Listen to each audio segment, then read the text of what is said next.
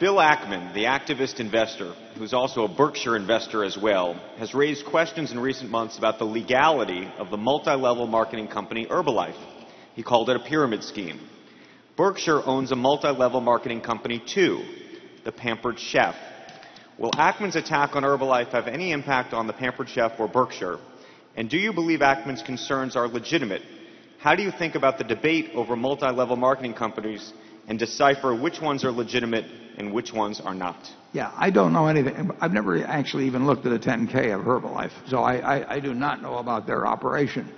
But I think the, key, obviously, is whether a direct marketing operation is really based on selling product to would be distributors of one sort and loading them up and, and instead of in effect selling it to end users. And a pampered chef is a million miles away from anything where any, the money is made in any way by selling to level A and then those people selling to level B and all that sort of thing. It is true that certain people, lots of people, get paid on the results, the selling results of other people that they recruit.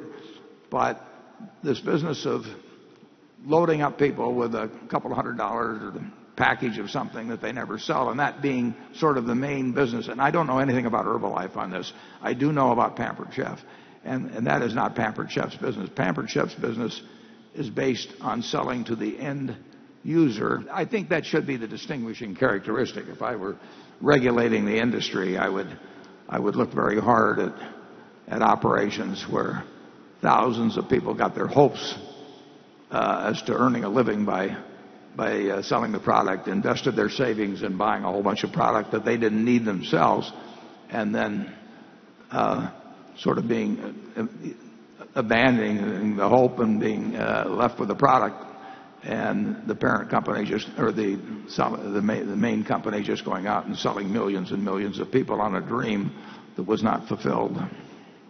Charlie? Well, I think there's likely to be more flim flam and selling magic potions than pots and pans.